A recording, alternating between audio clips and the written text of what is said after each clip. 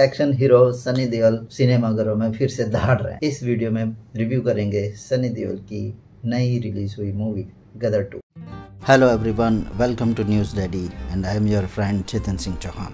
All time blockbuster movie Gadar one की sequel release हो चुकी है और सनी देओल अपनी दहाड़ से दर्शकों को काफ़ी मनोरंजन कर रहे हैं।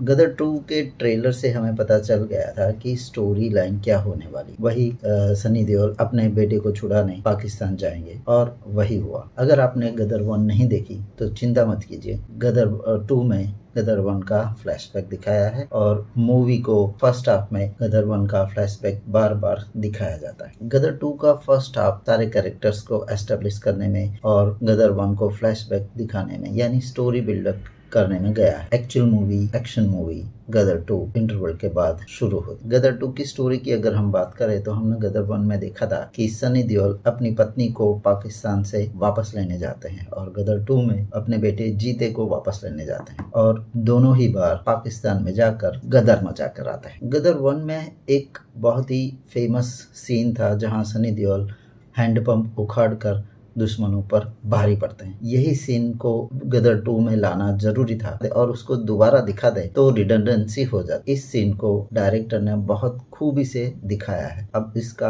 पूरा विवरण मैं नहीं करूँगा क्योंकि स्पॉइलर हो जाए। गदर वन के गाने काफ़ी फ़ेमस हुए थे और आज भी गाए जाते हैं। इसलिए मेकर्स ने गदर वन के गा, गानों को यहाँ रिपीट किया है मगर दिखाने का तरीका थोड़ा सा डिफरेंट किया है। एक्टिंग की बात करें तो सनी देओल पूरी फ़िल्म में छाए हैं और उनकी स्क्रीन प्रेजेंस उनकी उनकी डायलॉग डिलीवरी जैसे दामिनी या घायल में थी और गदर वन में भी थी गदर टू में भी वही एनर्जी वही जोश आज भी बरकरार। अगर हम दूसरे एक्टर्स की बात करें तो गदर वन में एक दमदार एक्टर सनी देओल के सामने था विलन के रूप में, जिनका नाम था अमरीश पुरी। अब गदर टू में विलन के रूप में मनीष वधावा उतने दमदार नहीं दिखे हैं।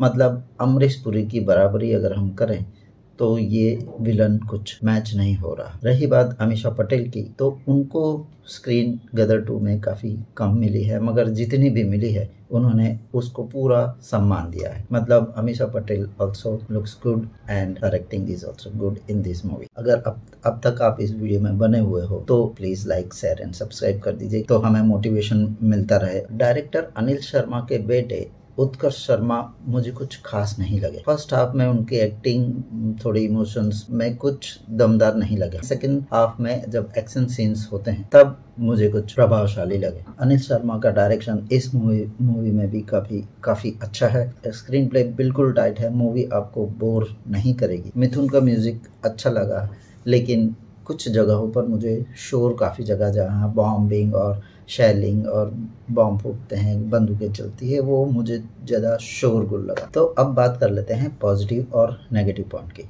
मेरे हिसाब से मूवी में चार पॉजिटिव पॉइंट्स है और चार नेगेटिव पॉइंट्स तो सबसे पहले बात करते हैं पॉजिटिव पॉइंट्स तो गदर टू का सबसे बड़ा पॉजिटिव पॉइंट है सनी देओल। दूसरा पॉजिटिव पॉइंट है इसके डायलॉग्स और dialogue delivery third positive point है इसका म्यूज़िक हाँ हालाँकि कुछ जगहों पर शोर मुझे ज़्यादा लगा।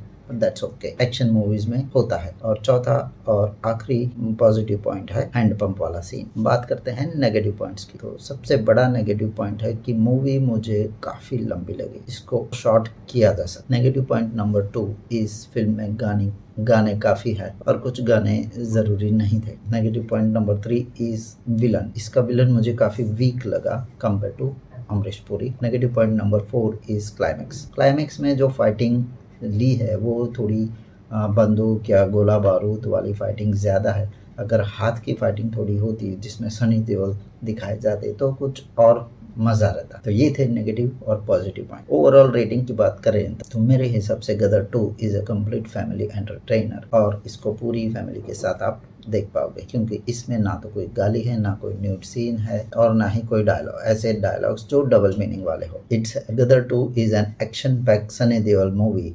definitely one time watch मेरी तरफ़ से इस मूवी को three star out of five मिलते हैं अगले वीडियो में नए रिव्यू और नए टॉपिक्स के साथ. Thank you have a nice time bye bye if you have like this video then please like and subscribe to our channel